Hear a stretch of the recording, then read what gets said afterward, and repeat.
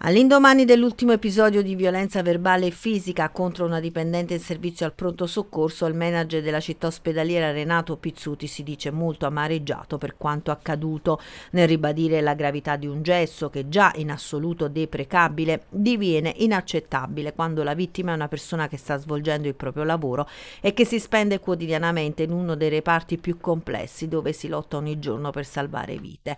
Pizzuti nel ringraziare il questore di Avellino per la collaborazione e l'attenzione dimostrate, evidenzia che sono state già intensificate alcune attività di monitoraggio e di prevenzione, con l'aumento del numero dei dispositivi di controllo degli ambienti e una maggiore copertura della vigilanza. Proprio in virtù del potenziamento del servizio di polizia, con la presenza fissa di un agente nell'area del triage del pronto soccorso, e attraverso le immagini delle telecamere a circuito chiuso si è riusciti a ricostruire quanto accaduto. Il direttore generale dell'azienda ospedaliera accenna anche alle ultime contromisure che bisogna adottare per garantire una maggiore sicurezza agli operatori. Ritengo che le tutele sanzionatorie da sole non bastino ad impedire che gli operatori subiscano aggressioni. Non possiamo accettare la violenza e ben vengano i provvedimenti operativi come la flagranza differita e più severe misure di deterrenza.